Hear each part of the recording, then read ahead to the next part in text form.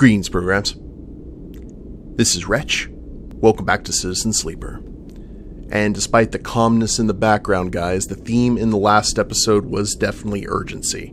And um, we have that on two fronts. The first is here at the mainframe where Navigator is trapped and Killer is roaming around. And it's only a matter of time before Killer is actually able to reach Navigator, and we definitely don't want that to happen. Now, uh, we're going to be taking care of that, but as I said, that's not all. If we go ahead and descend and head back over to the green belt, or the greenway, we also need to help out Fang. Now, Fang is currently under the gun. He is trying to work through Hardin's defenses in the cloud. And um, if we're not able to help him before this clock runs out, I don't know what's going to happen to Fang, but probably nothing good. So um, we've got some low dice and some high dice, and I believe the dice that we need to help out Fang, I think this is maybe the last one, is six. So let's go ahead and put that there, get a little bit of coin.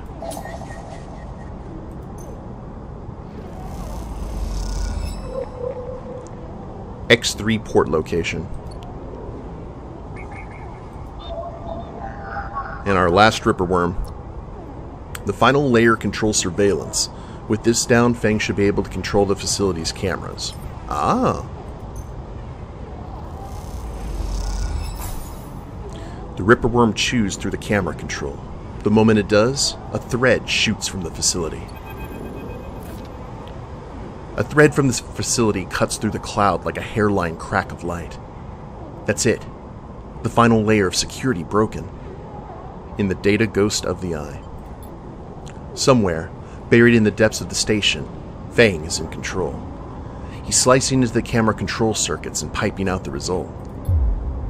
The thread flickers and unravels into an image. A scene. Two figures in a room. One sat, the other pacing. The pacing figure resolves into Hardin, The unmistakable superior posture. The shock of gray hair. The second, second figure's features don't seem to resolve. They're vague, unformed. Problem with the data, perhaps? You look closer. Then you see it. The figure is a proxy. Perhaps you should have expected it from Conway, a corporation whose very existence is owned to automation. The proxy is a machine designed to be piloted by remote connection somewhere elsewhere in the system puppeteering it with their own body, speaking so that may, it may speak. The proxy sits impassively, or the Conway executive that is piloting them does, from the distant safety of some ship or orbital colony, perhaps. We can move forward, there's no doubt, Hardin is saying. The reclamation teams are almost ready, and after that I'll make the declaration. Nothing has to change. The proxy leans forward, its movement stilted, uneven, as if its body was being refracted through water. But things must change, Hardin. We need further assurances. I've been informed of a breach in one of the closed networks of the low end. You have been careless. Hardin waves the accusation away. Yeah, we have been stretched. A breach was detected, yes, but no data of value was lost. Our board is concerned, Hardin. A drop in our value would be unwelcome at this time. The proxy leans back, its posture dominant. If the reclamation of AE1 is contested, then we could be drawn into a compromising legal position. Hardin approaches the proxy. There'll be no contest. Not from Solheim, who cannot muster a defense, and not from Havenage, who will fall into line below me. He crouches in front of the seated figure, eye to eye. And the people of this station? Refugees, gangs, spacers, all either opportunists or degenerates. Havenage is no longer strong, no longer united. No one here believes in Erlin's vision, nor has the strength to enact it. I sat across from him at the negotiating table. He was forceful, eager, weakened by his ideological convictions, perhaps, but a great man nonetheless. This place no longer deserves to bear his name. The eye is crippled. It cannot survive. It is a ruin filled with squatters and outlaws. They'll be lucky if it still spins in a hundred cycles. Hardin stands. You'll move forward with the reclamation, because otherwise you'll lose your advantage in the system. Without your advantage, you will lose claims on the remaining palladium. Without the palladium, your factories will go dark. He pauses. Do I need to continue? One moment, comes the response from the proxy, and his head drops to its chest. Hardin steps back and paces once more, awaiting the discussion taking place elsewhere in the system. You watch Hardin as he paces, as he considers his future. What goes on within a mind like that? In the mind of a man who would burn all those around him for a path to some imagined golden end. The proxy lifts its head. We are happy to proceed. We will legally claim the station formerly known as Solheim. I don't know what that symbol is, like Alpha or AE. 1 as salvage within six cycles. Havenage is to assist with the transport of the illegal residents to Conway housing and labor facilities. The proxy judders to its feet. Conway will also reclaim 70% of the raw output of the reclamation process after losses have been accounted for. Hardin nods. I accept. The proxy reaches out to shake his hand like a marionette, and then the recording loops. You watch it play out a second time, gripped by a horrified fascination. There's a bluntness, a bluntness to the conversation, to its blatant disregard for humans as anything other than objects.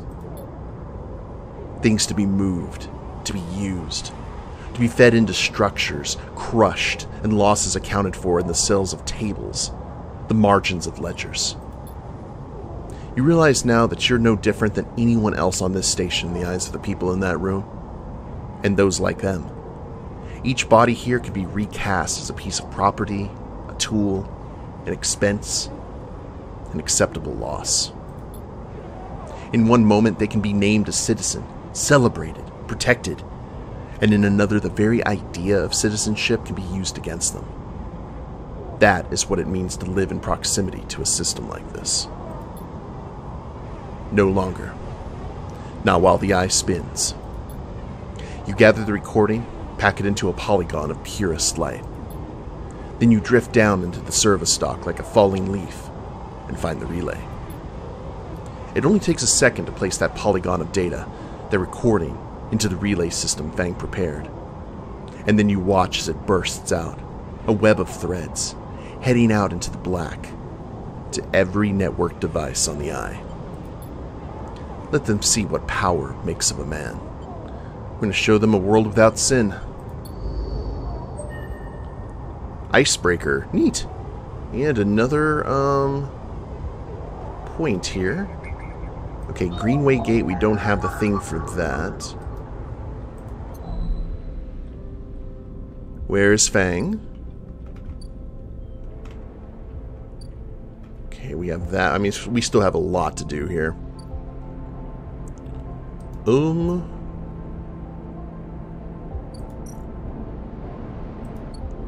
Go ahead and cross over. Maybe Fang is back in familiar territory. Oh, Fang's Bay. Havenage in crisis. The building is chaos. Most of it is in total lockdown. No one give you a straight answer about Fang or Hardin. Yeah, well, these things happen. What about the Havenage offices? Okay, no one's saying anything about that right now. Okie doke. Um, we got a scrap freighter here if we want to... I mean, they've got one more allowance. Action unavailable. Alright. We already got some good coin in the last episode. Now we got three upgrade points. Let's go ahead and pop up our interface. Yes. And now we'll just start leveling everything up one at a time. Now, we gotta go save our, uh, our navigator buddy. Up, up, up.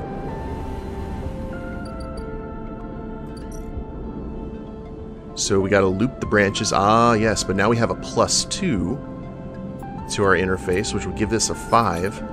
50% positive, 50% neutral. Let's see what happens. Big bucks, no whammies. Yes. Okay, cool. As you blink into the cloud, you see the last flickers of life from the mainframe. This vast machine once ran the whole station, span it up, directed and processed the flow of energy, water, and data, fed the lives of thousands of people. Now, it's finally dead. Navigator is beside you, and you both look out at the perfect ring that encircles you both woven from the data branches that once fed the mainframe. You see a glint along its edge, and that familiar blade like head rises to the surface, like the cresting fin of a shark, and then slips into the loop again. As you can see, all that you can see of Killer's body after that is slight thickening of the loop, and that thickening begins to travel around on a long and slow sojourn that will last it forever. Now remember, we decided to trap it instead of kill it.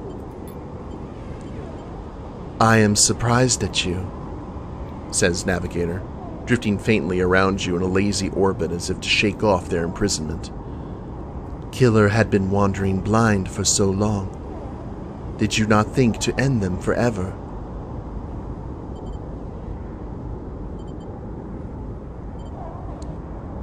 Perhaps they can be saved.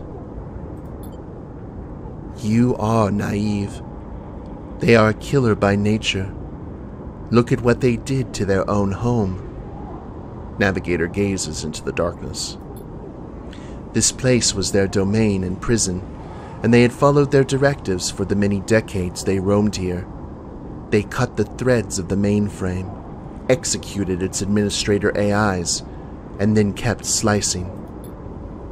At some point, they cut away their own ability to see, to sense, to taste, to speak and yet they kept cutting until only those three threads remained from millions that once thrummed here.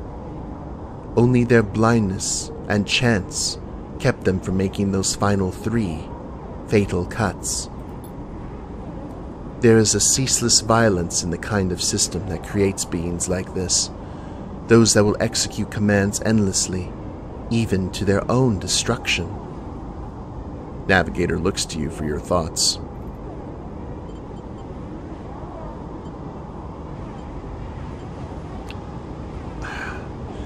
I will not continue the violence. The system you float in is one built to violence. You would be naive to believe otherwise. Navigator turns away. You watch the data points of the station spin around you blending with the fixed stars. There's something satisfying about finally wrenching the last threads of control from this central point. It was little more than a ghost by the time you reached it, but this place deserves to be haunted by better ideas than a totalizing system of control. Navigator floats beside you. It is free now. This station no longer presents a hazard for illegal entities like me. They turn to you, their face a cloud of shimmering light. In fact, in time, perhaps it can be a refuge. A refuge. That sounds like something of value. Something worth building. A dark shape passes across your vision, a distant curve of something like smoke or oil. A fluid, shifting tank of total darkness. The Greenway, says Navigator, following your line of sight. It was cut off at the moment of the collapse, so hunter or killer could never reach it. Now it is closed off to us, separated from the cloud. What system is inside it? It may be totally dark, or perhaps some other old protocols are isolated there. Navigator turns to you. And we have now seen what decades of isolation can do to a protocol. If we could extract, extract an access cipher, they pause and then blink out of existence. You freeze, shocked. But a moment later, they reappear with a glowing polygon of data. Here, the cipher you need. You take it, still shocked. I am not used to being free, to being able to move and explore and extract without fear, without limits. Navigator takes does a little twirl. This will take some time getting used to. Thank you for this gift. They whirl their spheres around you. The entities of this station will always be friends to you, Sleeper. And I to them. It is true that mutual need is required for friendship, but I must admit I had not considered the value of offering assistance without personal gain. I will think on that. Navigator loops around you rapidly, suddenly eager to test their newfound freedom. But first I will explore. Perhaps there are still intelligences that hid themselves as I did, encased in simple systems. Cut off. Navigator glows. I should like to free them. And with that, they drift away, flickering, glowing, then shifting so rapidly you lose sight of them among the glittering rim of the eye. You feel a pang of jealousy. Free, without a body to weigh you down or fear to limit you. How must it feel? Well, not necessarily. I mean, we got Navigator out of that bad situation, so things can happen to sentient programs just as much as physical beings. Your eyes fall on the Greenway and secrets.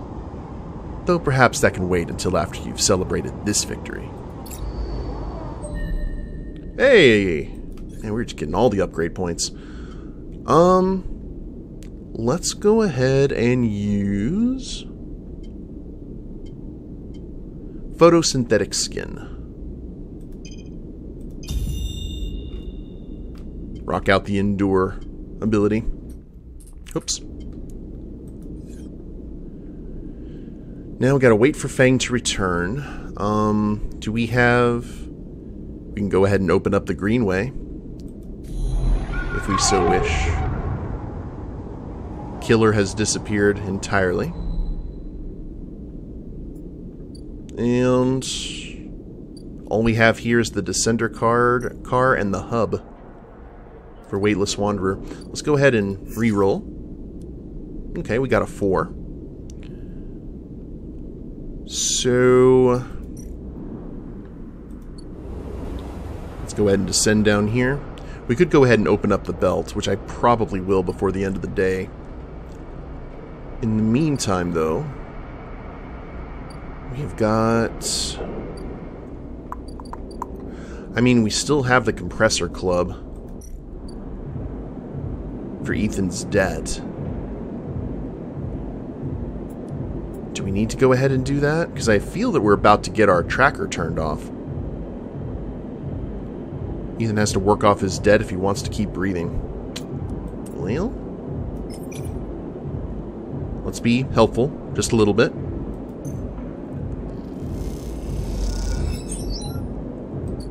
There we go. And then we'll head over to the Greenway. Need a good safe option. And that would be the commune here.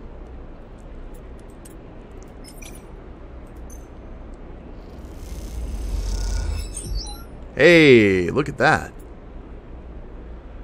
As you prepare the food, the grow bed workers invite you to share a meal with them. Conversation flows warm and freely.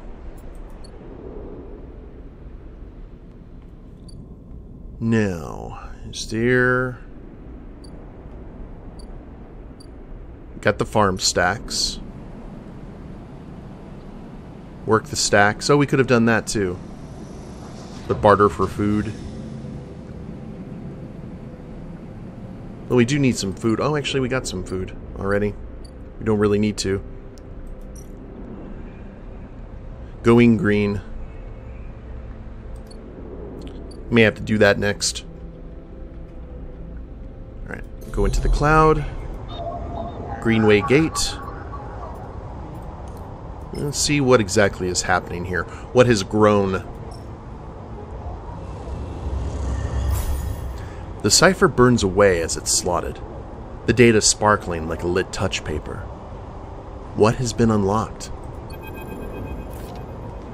The greenway roils beneath you like a silt choked river. If what Navigator said was true, then no one has accessed these networks since the collapse. The hunter and killer protocols have never set foot here, never cleared out the intelligences and systems. So why then, you wonder, does it look so dark? Is it just that the bit rot has set in? The entropy of systems reducing everything to shadows and light? You watch as the slotted cipher fizzles in the one open, distorted or in the one open distorted gateway on this entire rim of the station. It flickers and winks out, and then you're falling into the flow. A river of swirling darkness. You're spun by it, twisted by it, lost in it.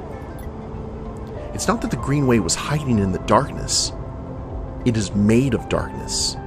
It is filled by this substance, this process, this swarm. Now you're among it. You notice that a swarm is exactly what it is a billion individuals moving in a flow. There's no network map here, no nodes and threads, only a storm of interchangeable points, shifting configuration endlessly. Is this kind of like a digital version of the Great Link from DS9? Then you see them. A figure turned away, the only bright spot in the dark river. You push closer through the storm. Gardener, ingrown farm administrator. They're facing away. At least you think so. They're so fractured, so overgrown that it's hard to tell.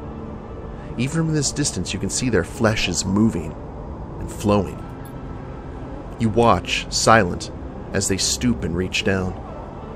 In their hand is a dark shape, and with twisted fingers, they press it down into the loam of data beneath them, pushing it through this trembling soil. Then they move away, go a little further, and repeat the process, as if they were sowing a field. You push forward, but somehow, despite their slow and deliberate speed, they move faster, and they quickly fade into the storm. You reach the point where they planted the object and look down. There it is a glassy, shifting polygon with something inside. You reach down and pick it up. Oh, that's not smart. It's cold, but it thrums with energy. You look toward the path of the figure, but they are long gone. When you blink out of the cloud, back to the leaves and the dappled light of the greenway, you hold a seed in your hand. So probably this area of darkness has just been like growing. Is it a good thing or a bad thing though? Gardener seed. You need to find somewhere safe to plant this gift. Um, okay. Is it necessarily a gift when we stole it? The Greenway, seeing if any of these options are available. Maybe the Haifa commune? Work the grow beds? No. Wild margins? Oh yeah, we gotta track Ashton as well. Man, we got a lot to do. Good stuff. And gather scrap, which we can't do yet. Alright, um... Well, we're out of dice, so there's only one thing that we really can do. And I think we're not... I think we're going to go ahead and just go to bed a little bit hungry. To the repaired unit. Sunbathe. Your frame's photosynthetic skin allows you to gather energy through sunlight. The longer you stay, the better. And it's a safe option, too. Neat. Alright, um... Crackers for the kitty. And that was a very productive day. Incredibly so. Oh, it's going to be a productive day here as well. I like it. Now, we gotta wait another day for Fang to arrive. And I guess we'll see the conclusion of that story. Scrap freighter. No. We need to get some stuff done. Ethan's debt for two. We may leave that alone for right now, just because we still have plenty of time before Maywick shows up. Uh, what I'm thinking that this is, is this gives us plenty of time to finish Fang's story if we absolutely need to. Oh, Lord. Okay, it was it was pulsing at us. I was wondering what was up. Um... Alright, so let's go ahead and we got plus two interface. That's going to be a guaranteed 15 cryo. Getting that taken care of. Um, we still got Yatagan over here to figure out. For our intuition. Patrol the ward. Oh, we can get our energy back right here. How about that? We don't need no food.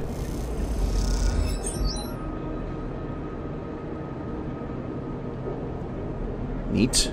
I think we got to do that two more times. That's going to be a... That's going to be a toughie. Now, we're not going to mess with that.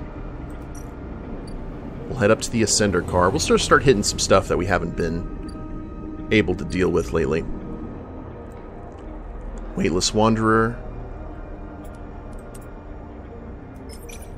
For the stacked bays.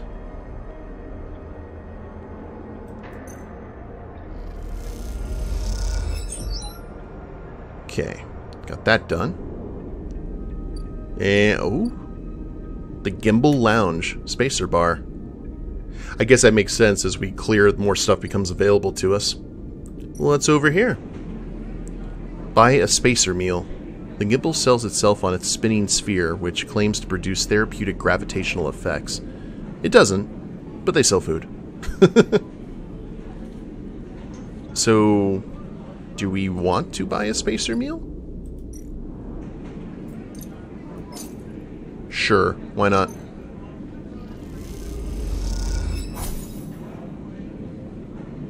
Plus 3 energy and 14 cryo. Well, that just gives us another place to eat, which is nice. Um, probably more stuff will arise once we get that done. Now we need to decide what we use this last dice for. And we'll probably buy another uh, stabilizer.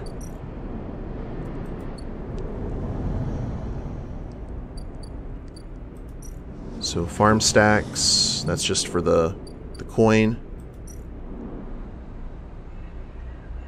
This will mark the... Oh, that will almost finish it, actually. To walk the greenway. then the grow beds.